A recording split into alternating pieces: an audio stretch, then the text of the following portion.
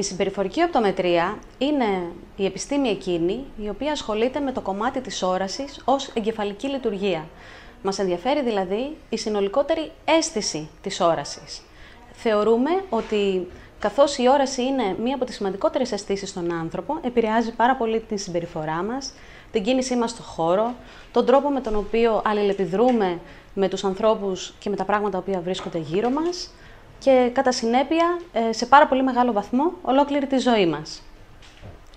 Το Vision Training είναι ένα από τα πολύ ισχυρά εργαλεία που έχει στα χέρια του ένας συμπεριφορικός οπτομέτρης για να μπορέσει να βοηθήσει στις περιπτώσεις εκείνες όπου κάποιες από τις οπτικές δεξιότητες, κάποια από τα κομμάτια δηλαδή της όρασης, παρουσιάζουν κάποιες ελλείψεις ή δεν είναι καλά ανεπτυγμένες στο κομμάτι, το Vision Training είναι ένα εξαδομικευμένο πρόγραμμα ε, δραστηριοτήτων ή οπτικών ασκήσεων θα λέγαμε, με σκοπό κάθε φορά να βοηθήσει τον εκπαιδευόμενο στο έλλειμμά του.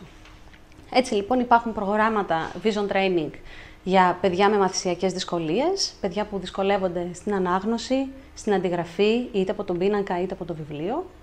Υπάρχουν προγράμματα εξειδικευμένα για ενήλικες, ανθρώπους που δυσκολεύονται λόγω της φύσης της δουλειάς τους να ανταπεξέλθουν, είτε άνθρωποι που πρέπει να οδηγούν πάρα πολλές ώρες την ημέρα, είτε άνθρωποι που δουλεύουν στον υπολογιστή πάρα πολλές ώρες την ημέρα.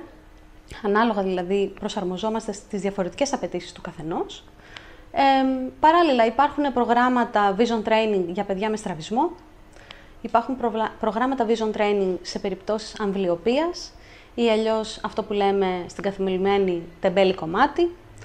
Ε, κοινώς προσαρμοζόμαστε ανάλογα στις απαιτήσεις του καθενός και σχεδιάζουμε ένα πρόγραμμα με διαφορετικές δραστηριότητες βάσει των αναγκών του κάθε ανθρώπου.